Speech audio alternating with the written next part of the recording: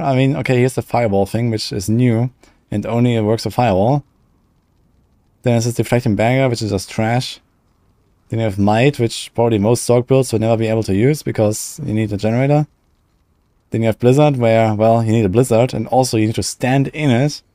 Oof. Then you have protector, which just like doesn't scale later anymore. Then you have disobedience, that's good. Then you have snow veiled aspect that makes you unstoppable, which just doesn't even give you damage reduction, it's just unstoppable.